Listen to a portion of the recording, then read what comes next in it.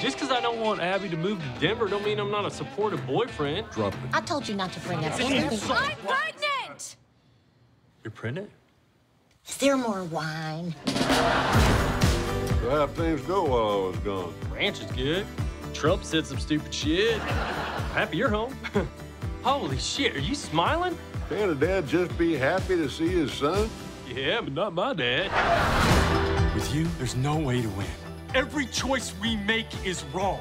That's the first thing you've said that I agree with. I want to postpone the wedding. No. Shit, Colt. I don't want to be some white trash bride. I want to line dance with you to boot scoot and boogie and shotgun a beer, swig fireball whiskey out of the bottle. That still sounds pretty white trash. God damn it. Oh, please. It's fucking Easter. Oh, shit. That wildfire's gonna head straight for us. It is time to get out of here. Did you by chance pack up any of my hair products? Of course I did. It's the first fucking thing I grabbed. Bo, this house is kind of like you. It's old, it's creaky, but it just won't die. Probably just yelled at the fire. Get off my property. Dad, while you were in the hospital, we used your power of attorney to buy the Peterson Ranch. Are you fucking kidding me? Jesus Christ. There's nothing left. There's no way we're gonna keep our heads above water through this. We're the fucking Bennetts. We've been through blizzards, droughts, diseases.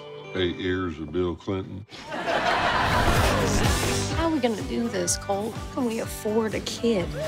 Where were you last Wednesday? Why don't you ask your mom? Holy shit, you were charged with a felony. This is my first strike in Colorado. Under this name. How could that be our boy? Would it help if I pretended he wasn't yours? Very much.